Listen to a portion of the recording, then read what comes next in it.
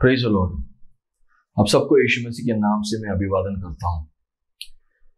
मैं उम्मीद करता हूँ कि आप सब वचन में बढ़ रहे हैं और परमेश्वर यीशु मसीह में और आप बढ़ रहे हैं। मुझे परमेश्वर ने वचन पढ़ने के लिए, सिखाने के लिए ये मौका दिया है। उसके द्वारा मैं आपके पास आज इस संदेश लेके आ रहा हूँ। परमेश्वर को धन्यवाद देता हूँ इस मौका के लिए। पिछले बार हमने पढ़ा एफिशियो का अध्याय चार, पहला दो वचन। उसमें से हमने ये जाना कि हर एक क्रिस्ती को रिश्ता बहुत ज़रूरी है। परमेश्वर के साथ रिश्ता और एक दूसरे के साथ रिश्ता रखना। रिश्ता रखना एक क्रिस्ती जीवन में बहुत विशेष बाग है। हम सब चाहते हैं कि यीशु मसीह हमारे से प्रसन्न हो। हम चाहते हैं हमारा पहचान ऐसा हो कि हम एक अच्छा क्रिस्ती है जो यीशु मसीह के जैसे ही चलता है। सही है ना? मैं यीशु मसीह के पीछे चलना है, यीशु मसीह जैसा चलना है, उनका चाल चलन, उनका चरित्र जैसा हम भी रहना है तो फिर हमारा काम, हमारे रिश्ता हमारा विश्वास परमेश्वर को महिमा करना चाहिए।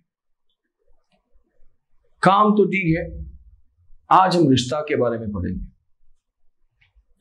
आपके जीवन में जितना भी रिश्ता है, माँ के साथ, पिता के साथ, बच्चों के साथ, पति के साथ, सास ससुर के साथ अड़ोस पड़ोस के साथ साथ में काम करने वालों के साथ साथ में पढ़ने वालों के साथ कभी कभी बस में साथ में बैठने वालों के साथ हमारा रिश्ता कैसा है? इस सवाल से आज मैं इस पढ़ाई को शुरू करना चाहता हूँ। उस सवाल का जवाब हाँ लोग हमको देखकर यीशु मसीह को पहचानते हैं। तो फिर प्रेज द लॉर्ड हालेलुया नहीं तो हमको उसके ऊपर ध्यान देना है और काम करना पड़ेगा। लोग, हम में यीशु मसीह को पहचाना चाहिए। हम सब पापी हैं। हम सब इस दुनिया में पाप किए हैं और हम पापी हैं। सिर्फ़ और सिर्फ़ यीशु मसीह ही पवित्र है। सिर्फ़ परमेश्वर ही पवित्र है। हम जब बोलते हैं, मैं क्रिस्ती हूँ, तब हम ये भी कहते हैं कि हम छोटे क्रिस्तु हैं। छोटे मसीह हैं। लोग हमको देखकर ज़रूर पहचाना चाहिए यीशु मसीह का प्रेम। लोग जानना चाहिए कि यीशु मसीह प्यारा है, यीशु मसीह मीठा है, यीशु मसीह नम्र है, यीशु मसीह दीन है। यीशु मसीह धीरजमंद यीशु मसीह कृपालु है, दयालु है। ये लोग तब देखेंगे जब हम यीशु मसीह के जैसा दीनता में रहेंगे, जब हम नम्र होकर लोगों के साथ व्यवहार करेंगे, तब लोग पहचानेंगे कि यीशु मसीह के पीछे चलने वाले सच में यीशु मसीह को दर्शा रहे बहुत सारे लोग इस दुनिया में कहा है? जिनको लोग महान कहते हैं दुनिया में। वो लोग सब ऐसा कहा है कि हम सब यीशु मसीह को चाहते हैं। यीशु मसीह को इज़्ज़त देंगे, यीशु मसीह को बहुत मानते हैं।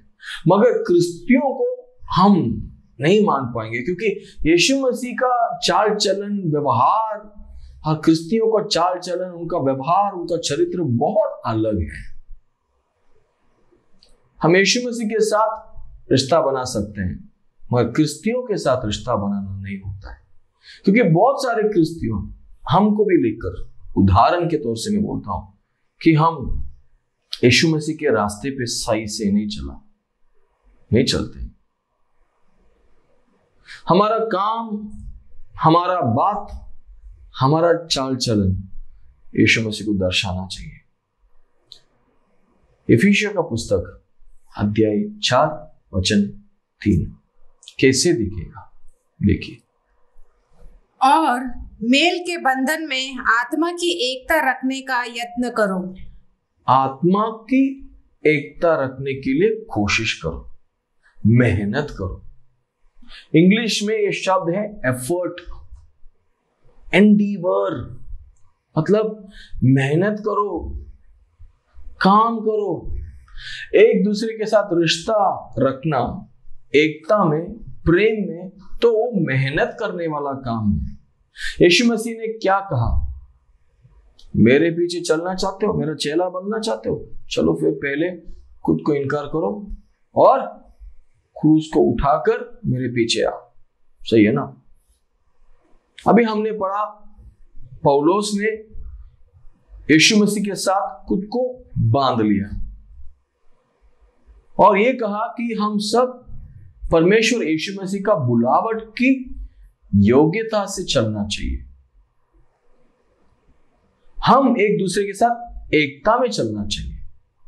दीन होना चाहिए, नम्र होना चाहिए, धीरज रखना चाहिए, प्यार से एक दूसरे दूसरे को सहनना चाहिए। यह है सही तरीके से यीशु मसीह के पीछे चलने का पूरा चिन्ह। हम बहुत बार सोच लेते हैं कि हम प्रार्थना करते हैं और आराधना करते हैं तो फिर यीशु मसीह प्रसन्न होते हैं। खोलिए इब्रानी के पुस्तक, अध्याय ग्यारह, वचन छ और विश्वास बिना उसे प्रसन्न करना अनहोना है। क्योंकि परमेश्वर के पास आने वाले को विश्वास करना चाहिए कि वह है और अपने खोजने वालों को प्रतिफल देता है। देखिए, हम सब सिर्फ़ विश्वास के द्वारा ही प्रसन्न कर पाएँगे। कभी कभी लोगों को देखकर हमको विश्वास नहीं आता है कि वो आदमी और औरत अच्छे हैं।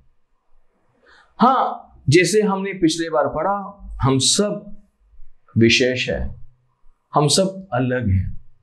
हम सब पापी भी हैं। मगर यीशु मसीह हम सबके लिए मरा है। यीशु मसीह हम सबको एक ही तरह प्रेम करते हैं। मैं यीशु मसीह के लिए मूल्य हूँ, वैसे ही मेरा बीवी भी यीशु मसीह के लिए मूल्य है। वो भाई बहन जो भी कलिशिया में मेरे साथ बैठते हैं, वो भी यीशु मसीह के लिए मूल्य है। तो फिर यीशु मसीह के लिए जो मूल्य है, उस व्यक्ति को मैं सहन नहीं पाऊँगा। विश्वास में, प्रेम में तो फिर यीशु मसीह को कैसे प्रसन्न कर पाऊँगा मैं? समझ में आ रहा है? हम ये विश्वास करेंगे कि परमेश्वर उनके जीवन में काम कर रहे हैं। हाँ हमको दिखता नहीं है। हमारा परिवार में एक व्यक्ति रहेगा, बहुत पीता है, मारामारी करता है, झूठ बोलता है, मगर उनको प्रेम से सहना पड़ेगा, माफ़ करना पड़ेगा। और उनके साथ हम धीरज रखना चाहिए। यह विश्वास कर परमेश्वर उनके जीवन में काम कर रहे हैं। हाँ उनके लिए प्रार्थना करना पड़ेगा। हम कोशिश करना चाहिए। मैं ऐसा नहीं कह रहा हूँ तो कि कोई आपको सुबह से शाम तक मार के रहते हैं तो उनके साथ रहो। नहीं। वचन ऐसा नहीं कह रहा है।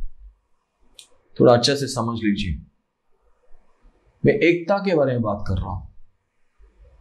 दिल से एकता होना, मन से एक होना।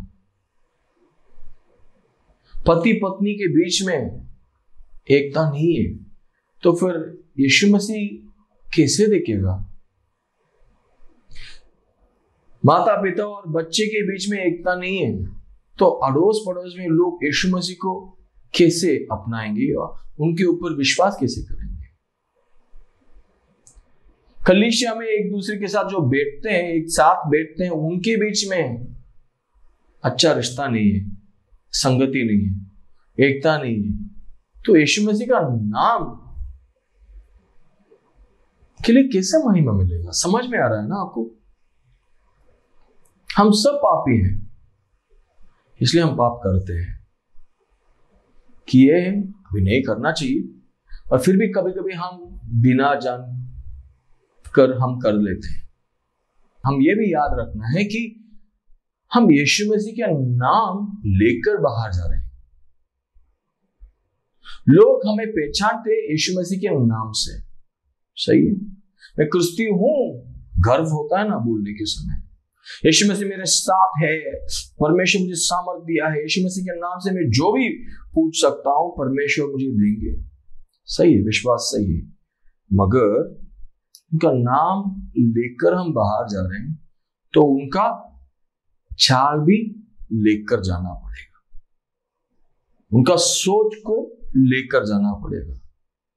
उनका दीनता को, उनका दया को उनका धीरज को लेकर जाना पड़ेगा। लोगों के पास। हर एक कदम आप बढ़ाने के समय, एकता में बढ़ाने के लिए कोशिश कीजिए। हाँ मैं ऐसा नहीं कह रहा हूँ, दिखावटी करो। नहीं। खुद के साथ। खुद को आप पहचानने चाहिए, सच्चाई में मैं घमंड नहीं हूँ। मैं दिखावटी नहीं कर रहा हूँ। मैं खुद से झूठ नहीं बोल रहा ये आपका विवेक में आपको आप पहचानना चाहिए कि आप सच्चे हैं आपके लिए, परमेश्वर के सामने। क्योंकि बहुत सारे लोग सबके सामने दीनता दिखाएँगे। लोग सबके सामने नम्र होंगे। और सच में उनका दिल में गुस्सा है। कड़ुआपन है। वो लोग एक दूसरे को माफ़ नहीं करते हैं। एक दूसरे के बारे में गलत सोच अंदर ही रखते हैं। लोग के सामने आएँगे, चर्च में आएँगे प्रेज लॉर्ड बाहर देखेंगे प्रेज लॉर्ड मगर उनके पीछे बात करें क्योंकि एकता नहीं है। कभी कभी लोग एक कलिशिया छोड़कर दूसरा कलिशिया जाना पड़ता है काम की वजह से, या हो सकता है वो लोग वहाँ पे कुछ देखे हैं, परमेश्वर उनको वहाँ पे बड़े रहे। अच्छा है। मगर ये कलिशिया में जब वो लोग रहते थे, उस समय उनको जो बपतिस्मा दिया हुआ पासवान के साथ अच्छा रिश्ता नहीं रखते तोड़ देते हैं। उसके बाद उस कलिशिया का लोगों के साथ रिश्ता सही से नहीं रखते हैं तोड़ देते हैं। वो सही नहीं है। एकता चाहिए। हाँ हम उनके साथ पहले जैसा नहीं रह सकते और ये भी हो सकता है कभी कभी लोग इतना अलग है, हम उनके साथ सबके साथ रिश्ता फ्रेंडशिप नहीं बना सकते हैं। सबके साथ एकता में रहना मुश्किल है, मगर सबके साथ शांति में रहने के लिए कोशिश करना चाहिए। रिसेंटली थोड़े दिन के पहले एक सिस्टर ने मुझे कॉल किया और उसने कहा कि मैं चौदह साल हो गया, मैं अकेले रहता मेरा पति गुजर गया। और मेरा भाई, बहन सब अलग अलग फ्लैट में रहते हैं, एक ही फ्लोर में हम रहते हैं, बाजू में रहते हैं वो लोग। मगर एक बात भी नहीं बोलते हैं वो लोग मेरे से।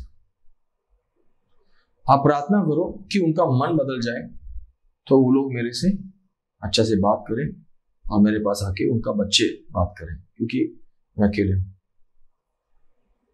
रो रहे थे वो। मैं उनको कहा, चले, वो लोग क्रिस्ती है क्या? नहीं, वो लोग विश्वास नहीं करते। तो बोला, आप विश्वासी हैं? तो मैं आपको ये सलाह देना चाहता हूँ कि आप कल सुबह उनका घर में जाके उनसे बात कीजिए। नहीं पास्टर वो लोग पसंद नहीं करेंगे। वो लोग सुनेंगे नहीं। मैं उनको बोला था, रिश्ता किसको चाहिए? आपको। आप चाहते हैं वो लोग यीशु मसीह में आए? हाँ। आप चाहते हैं उनके साथ रिश्ता बनाने के लिए? हाँ। आप उनको प्रेम करते हैं? हाँ। तो फिर आप कोशिश करो ना। पहले एकता बनाने का काम हमारे साइड से होना चाहिए। दूसरा भी हमारे साइड से होना चाहिए। तीसरे बार भी हमारे साइड से होना चाहिए। सात बार सत्तर बार होने दो। हमारे साइड से होना चाहिए।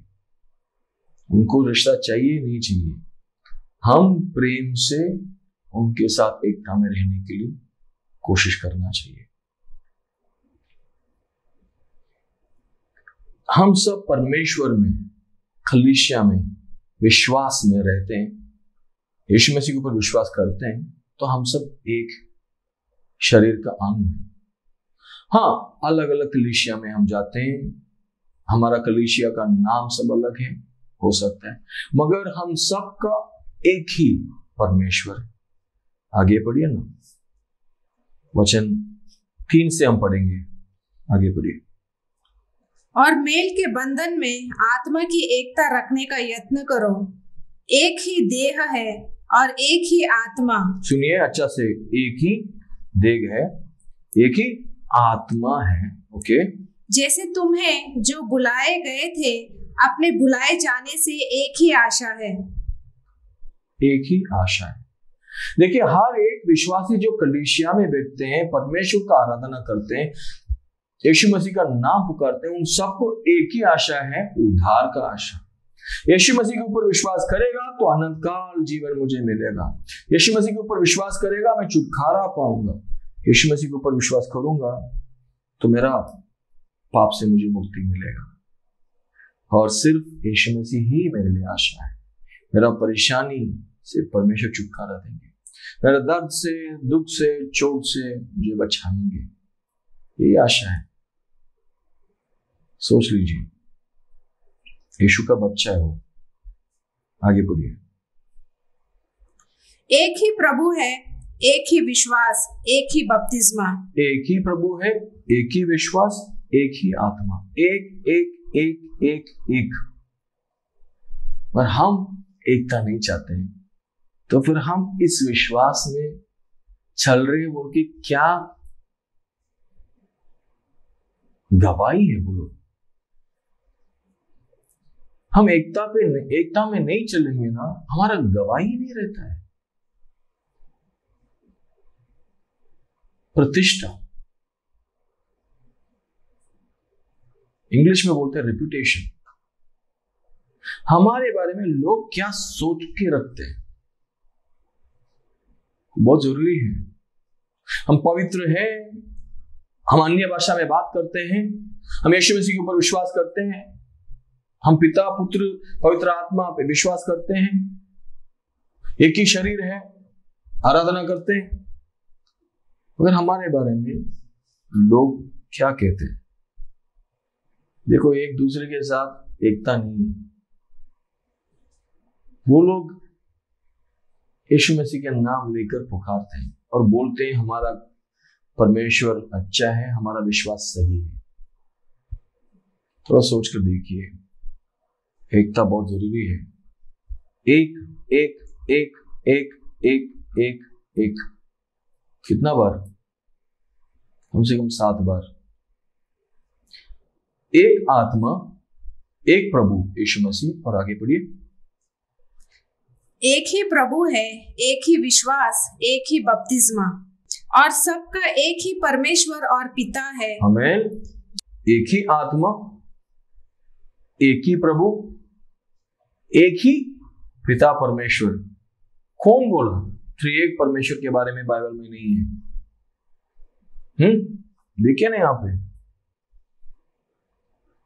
का पुस्तक में अध्याय चार वचन चार और पाँच आप पढ़ेंगे तो आपको समझ में आएगा। आगे पढ़िए। और सबका एक ही परमेश्वर और पिता है जो सबके ऊपर और सबके मध्य में और सब में है। भाइयों बहनों हमारे एकता के द्वारा ही परमेश्वर काम करते हैं। यह आपको समझना चाहिए। परमेश्वर अद्भुत रीति से काम करते हैं। चमत्कार करते हैं। उनका सामर्थ परमेश्वर हमारे जीवन में कार्य करते हैं। और उनका अलौकिक सामर्थ्य के द्वारा हमको बदलते हैं, छुटकारा देते हैं। उनका सामर्थ्य के द्वारा, शक्ति के द्वारा आश्चर्यचक काम के द्वारा चमत्कार के द्वारा हमको बदलते हैं। और रिश्ताओं के द्वारा भी परमेश्वर हमको बदलते हैं, काम करते हैं। ये हमको समझना बहुत ज़रूरी है। जैसे कोई व्यक्ति को परमेश्वर हमारे जीवन में लेकर आके हमको सुख समाचार दिया, यीशु को हम पहचाना उसके द्वारा। वैसे ही हमारे रिश्ता के द्वारा, हमारे काम के द्वारा, हमारे चाल चलन के द्वारा हम दूसरे लोगों के पास भी यीशु मसीह को या सुख समाचार को पहुँचा सकते हैं। उस मौका को हम खोना नहीं चाहिए। कभी कभी हम विश्वास में आने के बाद हमारे अच्छे फ्रेंड्स जो भी थे, उनके साथ रिश्ता तोड़ देते हैं। अच्छे फ्रेंड्स के बारे में बात करता हूँ। देखिए, हमारे अच्छे फ्रेंड्स जो भी थे, उनको सिर्फ़ एक ही मौका मिलता है यीशु मसीह को जानने के लिए, वो आप हैं। और आप यीशु मसीह में आने के बाद उनको छोड़ देते हैं तो फिर उन लोग को कैसे लगेगा? सोच कर देखिए। इसकी वजह से लोग हमको उनके साथ नहीं रखते हैं। अच्छे फ्रेंड्स के बारे में बात करता हूँ। जो इज़्ज़त देते हैं, जो अच्छे हैं, आपके साथ अच्छे से व्यवहार करते हैं तो जो आपको, आपका भलाई चाहते हैं, उन लोगों के बारे में बात करता हूँ। परमेश्वर रिश्ता को इस्तेमाल करके लोगों का जीवन बदलता है। पासवान को इस्तेमाल करके कलिशिया में रहने वाले विश्वासियों को जीवन को परमेश्वर बदलता है। उनका शिक्षा के द्वारा, उनका चाल चलन के द्वारा, उनका उदाहरण के द्वारा, उनका सलाह के द्वारा। एक दूसरे के साथ कैसे व्यवहार करना चाहिए? पवित्र कैसे रहना चाहिए? प्रार्थना कैसे करना चाहिए? अधिकार के नीचे कैसे रहना चाहिए? आदिन कैसे रहना चाहिए? देखिए, यहाँ पे एक सलाह देना चाहता हूँ। आप एक लड़की है, एक लड़का को शादी करना चाहते हैं तो सोच कर शादी कीजिए। जो लड़का अधिकार के नीचे रहना चाहता है, रहा है, वही एक क्रिस्ती को आप शादी कीजिए। जो वफादार है, जो जिम्मेदार है, जो इंसाफदार है। वैसा व्यक्ति को शादी करेंगे तो सही रहेगा, क्योंकि यीशु मसीह में चलने वाला व्यक्ति का ज़िंदगी में ज़िम्मेदारी आता है, निभाना पड़ेगा। हिसाब देना पड़ता है हिसाबदार होना पड़ेगा। चरित्र को यीशु मसीह बदलते हैं, उसके वजह से वो वफादार होना चाहिए। और अधिकार के नीचे उनको रहना पड़ेगा। इसलिए अधिकार के नीचे रहकर आदिन होना बहुत ज़रूरी है। तभी वो यीशु मसीह का बात सुनेगा, पासवान का बात सुनेगा, आपको मतलब बीवी को प्रेम करेगा। वैसे ही मैं लड़की को भी यही सलाह देना चाहता हूँ कि जब एक लड़की को आप शादी करना चाहते हैं, उनके बारे में, उनका कलिशे में लोग क्या कहते हैं? थोड़ा सुन के ले लो। समझ लो। कोई बुज़ुर्ग, क्रिस्ती, औरत के नीचे या उनका बात सुनकर रहा क्या वो लड़की कलिशिया में जो भी मिनिस्ट्री है, सेवा है, उसमें भाग लिया क्या वो लड़की नम्र है क्या? प्रेम करती है क्या? सेवा करने वाली है क्या? वो सब देखना बहुत ज़रूरी है, क्योंकि प्रतिष्ठा बहुत ज़रूरी है। बहुत अलग अलग कलिशिया की वजह से आजकल हम एक दूसरे से बहुत अलग हो गए। आज लॉकडाउन की वजह से ऑनलाइन में देखते हैं, खुद का कलिशिया का लोगों को भी मिलने के लिए नहीं हो रहा है। अभी सोलह महीना हो गया हमारा कलिशिया मिलकर। लोग अलग अलग जगह पर गए हैं। मगर एक दूसरे के साथ रिश्ता रखने के लिए हम तो कोशिश करते हैं। कोई भी जाति होने दो, कोई भी भाषा होने दो, कोई भी जीने का लाइफस्टाइल होने दो। उनके पास पैसा है, पैसा नहीं है, होने दो। अगर हम सब परमेश्वर यीशु मसीह में एक हैं, उनके सामने हम सब एक हैं, उनके आँखों में हम सब एक हैं, हम सब पापी हैं। जिनको यीशु मसीह के द्वारा उद्धार मिला है। और उनके लिए हम सब विशेष हैं। इसलिए एक दूसरे को हम इज़्ज़त देना बहुत ज़रूरी है और एक दूसरे के साथ एकता में रहना बहुत ज़रूरी है। कभी कभी सबके साथ मिलकर काम करने के लिए नहीं होता है। मैं समझता हूँ। पर सबके साथ शांति से रहना बहुत ज़रूरी है। उसके लिए हम कोशिश करना पड़ेगा। हम सबके लिए ही परमेश्वर है। एक ही प्रभु है, एक ही आत्मा है, एक ही आशा है। सो एकता में रहना बहुत ज़रूरी है। इसको थोड़ा ज़ोर से सुन लीजिए, दिल में लीजिए और एक दूसरे के साथ रहने के लिए कोशिश कीजिए। आप यीशु मसीह में हैं तो एकता में रहने वाला बनना चाहिए। शादीशुदा ज़िंदगी में एकता दिखना चाहिए। परिवार में एकता दिखना चाहिए। क्योंकि वो पवित्र आत्मा का काम है। वो काम आपके अंदर नहीं हुआ है तो फिर आप परमेश्वर के आधीन नहीं रहते हैं। आपका चाल चलन बदलने के लिए मन फिरना मतलब मन फिराना, वो काम अभी तक आपने नहीं किया है। तो दिल बदल दीजिए, एकता में आइए, परमेश्वर के पीछे खुशी से, आशा से चले। प्रार्थना करें। पिता परमेश्वर, हम प्रार्थना करते हैं कि आज का इस समय के लिए धन्यवाद। और प्रार्थना करते हैं, हर एक क्रिस्ती का दिल में एकता का मन है। एक हो जाए मन में, दिल में विश्वास में आशा। में और एक दूसरे को इज़्ज़त करें और एक दूसरे को समझ पाए। एक दूसरे के साथ शांति से रहे। हर एक परिवार में आपका एकता, आपका नाम, आपका आत्मा रहे। परमेश्वर, आपका शांति, आपका आनंद, आपका आशा से हर एक व्यक्ति को आप बल दीजिए। यीशु मसीह के नाम से मैं प्रार्थना करता हूँ। अमेन गॉड ब्लेस यू परमेश्वर आपका आशीष दे। प्रेज द लॉर्ड मैं उम्मीद करती हूँ कि आप सब अच्छे हैं और आपको हमारा मैसेज पसंद आया है। जैसे कि आप सब जानते हैं, जो कोविड की स्थिति पूरी दुनिया भर में चल रही है, जिस कारण हम कलेशिया नहीं जा पा रहे हैं। अगर आप ऐसी व्यक्ति है जो कलेशिया नहीं जा पा रहे हैं और आप किसी ऑनलाइन सर्विस के खोज में हैं तो मैं आपको बताना चाहती हूँ कि हम हर रविवार को साढ़े ग्यारह बजे सिंपली बाइबल यूट्यूब चैनल में मिलते हैं। अगर आप यूट्यूब चैनल में जाएँगे और वहाँ पे सिंपली बाइबल करके सर्च करेंगे तो आपको हमारा सारा वीडियोस मिल जाएगा। और जो रविवार को साढ़े ग्यारह बजे जो लाइव सर्विस होता है, वो भी आप देख पाएँगे। तो आप लाइक करें, सब्सक्राइब करें, अगर आपको मैसेज पसंद आता है तो आप शेयर करें। और वहाँ पे यूट्यूब चैनल पे अगर आपको कोई प्रेयर रिक्वेस्ट है तो वहाँ पे आप कमेंट कर सकते हैं। हम आपके कमेंट को देखकर आपके लिए ज़रूर प्रार्थना करेंगे। और मैं यही कहूँगी कि आप अपने आप का ख्याल रखें इस कोविड की स्थिति में। धन्यवाद। परमेश्वर आपको आशीष दे।